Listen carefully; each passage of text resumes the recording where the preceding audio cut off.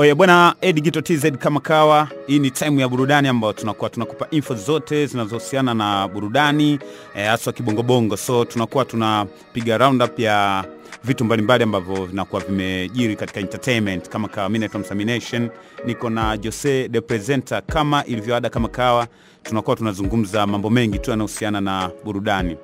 E bwana, leo nitamani tuzungumze kuhusiana na Samani, ngoma ambayo ni ya Lurudiva akiwa amemshirikisha Lavalava, ngoma ambayo kabla ya kutoka ilikuwa na drama nyingi sana, lakini mpaka sasa e, ni masaa sita tangu imetoka na e, ina viewers pale YouTube takribani laki moja kama na elfu kumi na kitu hivi, unajua ndani ya masaa sita hayo. Na vitu vingine kama hivyo, so nataka tuzungumze vitu vichache. Mimi nikiwa na Jose the presenter hapa kuhusiana na ingoma. Najua kwamba utakuwa tayari umeshaenda YouTube na umeiona ingoma namna gani ambavyo inafanya kwa upande wa YouTube, lakini pia mtaani namna ambavyo inasogea. E bwana Jose, ni aje kwanza mzee wangu? kama kaafu afu na- unakosea sana kutaja jina langu jina langu instagram ni josi the presenter j o s y the presenter Jozi. the presenter rudia Jozi. josi the presenter bana fresh mzee inakuwaje bwana kama kawa ngoma ya samani ya Diva sex diva Mm, wanamuita sexy diva. Diva divana. sexy. Bwana watu wanajikubali mjini hapa. Eh, kama ngoma yake na Lavalava taalamu kutoka WCB pale Mm, mm, ya kuitwa Samani. samahani Ngoma kabla ya kutoka kulikuwa na drama nyingi sana. Kumbuka kuna kipindi fulani cha radio fulani pale cha actually ni kipindi cha wasafi cha lavidavi cha lavidavi cha yeah. cha cha nani cha mwanadada huyu mm. diva Mm. enda pale Lavalava kalia katoa maua samani kibao, wataalamu wa mambo ukiwemo wewe mwenyewe uliniambia hii ngoma hii sio hizi ni ngoma hii ngoma inakuja. Ah, naambia bwana, lakini si wa- wanadate wale Ah, unajua sasa kudate unajua wasanii wengi wa bongo shida ni moja. Huwa wapendi sana kuweka wazi mahusiano yao. Lakini kwa stori ambazo zinazojulikana ni kwamba fresh watu wana wale- e, hivyo. eh, yani kawaida fresh, lakini labda kama wao wenyewe wajiamua kuthibitisha kuweka wazi kwamba tuna mahusiano na nini na nini lakini stori zilizopo town ni kwamba they are dating. Japo ni kwa kificho kificho lakini wako hivyo. Anyways ngoma nimeisikiliza actually nimeisikiliza kama ma, Yeah. ma, mara mbili sababu hii ni mwendelezo. Mara kwanza lavalava alitoa nyimbo yake. Baada ya ile inshu tu akatoa nyimbo yake nafikiri kesho, kesho yake sio kesho kuto yake yeah. akatoa ngoma yake ambayo ni audio mpaka saizi ipo inaendelea ina, ina, kusika lakini ishu kubwa iko kwa lulodiva pamoja na lavalava Mm. nimesikiliza audio. Audio amefanya gach b. Gach b ndo biti zake hizi ambazo wanazifanya unamsikia gach b anawatengenezea mabantu the same kind of music kama hizi ambazo zinazo sound. Ukiwasikiza mabantu mziki wao wanaofanya ule gach b mara nyingi ndo mpishi wa ngoma kama za staili hii yani za kuimba kitu fulani kama topic tu unakuwa unakirudia rudia unaimba samani eh, eh, samani Yeah, eh, yani ukisikia ni kitu fulani tu maneno ya- fulani yanajirudia na vitu kama hivyo. Ni, ni Gach B anafanya hivyo pia na mm, nani huyu ambaye nikagongea nyagi yule ni producer yule Oh, jamaa yule. Badest pia anafanya mziki wa, wa type hiyo. Nimeisikiliza audio. Kwa Lulu Diva it's okay. Kwa, kwa, kwa, kwa, kwa sehemu ya mziki anaoufanya yani aina ya mziki ambao anaimba Luludiva na hiyo ngoma ambavyo imetoka Luludiva ina stahili ameendana nayo yani. ameendana nayo kabisa Ah, Lulu kabisa, Diva kama hapa Lulu Diva amefit na amefanya ile. Ya lakini kwa upande wa ndugu yangu kutoka WCB Oh, Lavalava oh, oh. ah, kwanza eh, niliposikia featuring yani Luludiva na Lavalava nikajiuliza sasa Luludiva ah, the way anavyoimba alafu na Lavalava the way anavyoimba yani kunaweza kuwa na kun- kunaweza na chemistry gani ya, ya sauti zao katika kutengeneza kitu ambacho kinaweza kuja kuwa na, na, na ladha. Nimemsikiliza Ludiva, yeye amefanya vile ambavyo ina style. Lakini ukimsikiliza Lavalava kwa ambao wanaosikiliza mziki utagundua kabisa Lavalava aina ya uimbaji wake alivyo na alivyoingia katika hii, hii, hii, hii, hii ngoma alivyoingia katika hii track una miss au una miss ile test ya Lavalava ule ambao tumemzoea. Ambayo tumeizoea ya yani tumeizoea. Eh, yani zile staili za, za, za, Eh, za, za, eh, sana. ya. Tu- tu- tunakuwa tunaikosa. Kiukweli mi si- sio si- kwa lavalava na ludiva mimi nakiri kusema sio sio ko- kolabo nzuri. Yani chemistry yao kimuziki haijawa sawa. Mi nahisi wangefanya vile ile stunt ambao walikuwa wanaifanya kuhusiana na mambo ya mahusiano ingekuwa bora zaidi. Lakini kimuziki sioni kama ni, ni, ni chemistry ambayo itakuwa ina, ina, itafanya, itafanya sana kazi itatokea tu ni ngoma fulani tu hivi itaimbwa itaimbwa afu itakuja itapotea. Lakini baadaye huwezi kuja kuniambia eti ni history imewekwa kwamba lavalava na ludiva walifanyaga nyimbo ikawa kali labda mpaka ikafika vizuri, vizuri, yani kwamba- kila mtu akawa naiweka ngoma labda ina- wanairipiti na vitu kama hivyo. Hapana.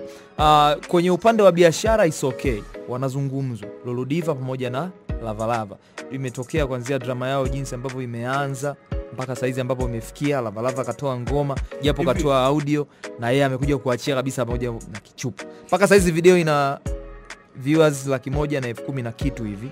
Kafanikiwa sana katika hili kwamba Ah, kile masaa kitu sita kwa mpaka masaa sasa sita hivi mpaka saizi tunaingia na ipo kwenye trending tab. Yeah. kipimo cha muziki wa bongo kwa sasa.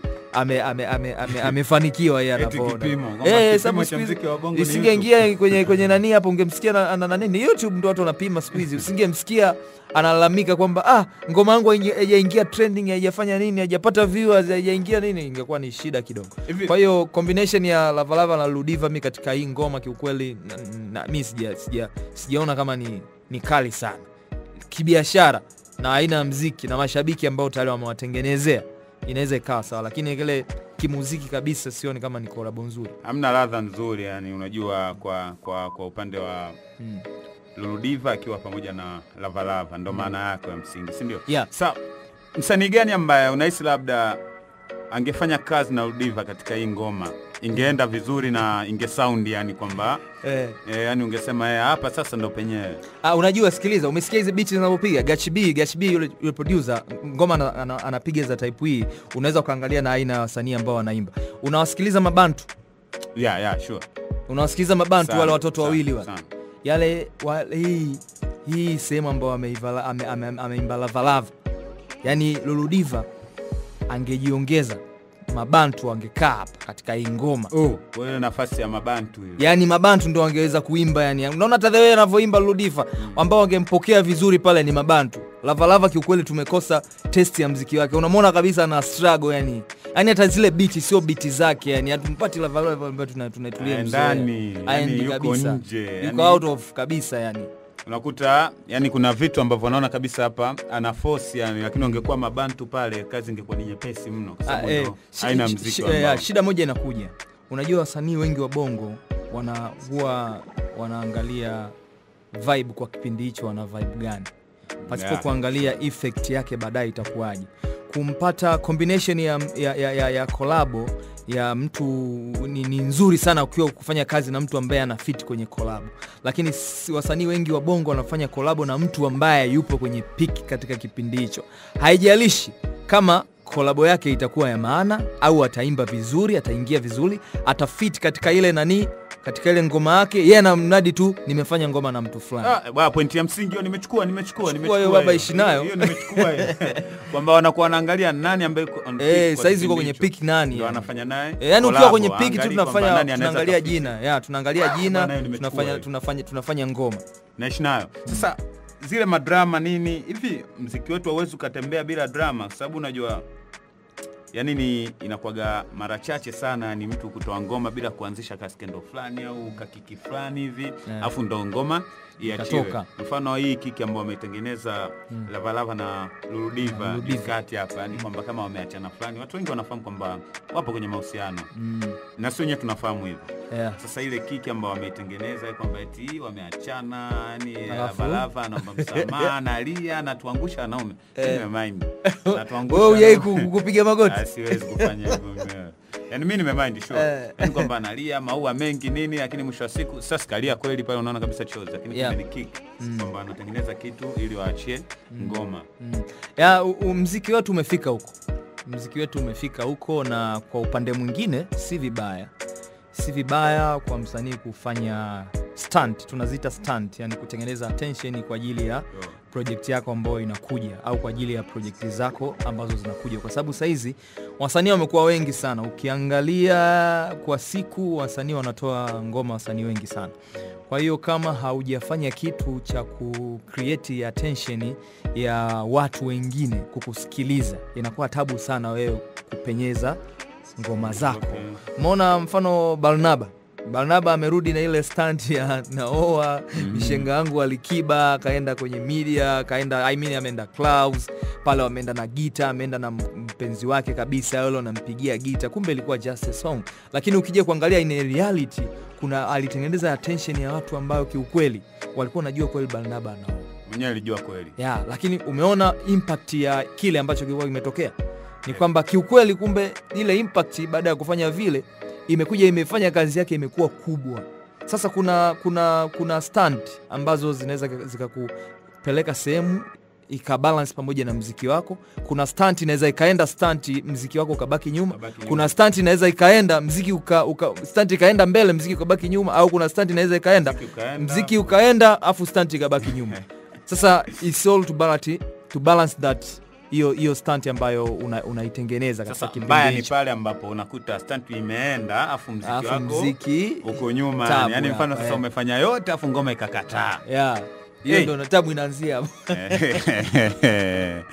Eh, hapo kunakuwa na balaa sana yeah. hivi kwenye- ile ya, ya, ya, ya, ya nani ya, ya, ya, ya, Baraka, baraka baraka da prince mm.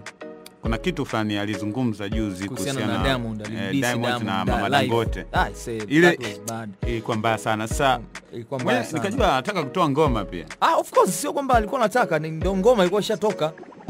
Na imetoka yani alikuwa anaitengenezea attention, lakini mwisho wa siku, lakini unaitengenezea attention. Unajua hata nimeshaipitia kwenye management za kumanage wasanii. Wa- msanii akitaka kutoka una, unafikiria yani hawafikirii ngoma gani inatoa. Tunakaa kabisa mnafikiria saizi tufanye nini saizi tu tuseme amekufa. Eh, eh, tuseme eh, eh, eh, staili kama za Meja Kunta. Ile ilikuwa ni stunt nayo. Yani hamna bahati mbaya katika lile. Ilikuwa ni yani ndo hivyo yani lazima tufanye hivi ili iende. Unaelewa? Kwa hiyo sasa tu, tu, tujaribu mziki wetu tujaribu kuwa tunaangalia stunt tunazozitoa tunazozitengeneza hata mbele wanafanya stunt. Everybody yani ni saizi ndo mziki unataka yani ndo vitu yani mziki pamoja na matukio. wewe ukiwa unaimba tu unaimba tu amna mtu wa kukuzungumzia kidogo inakuwa shida kidogo. Mtu akikuzungumzia kidogo anapata nafasi pia ya kukufuatilia katika mziki wako. Lakini stunt ziwe balanced pamoja na kile ambacho tunakitoa. Unaelewa?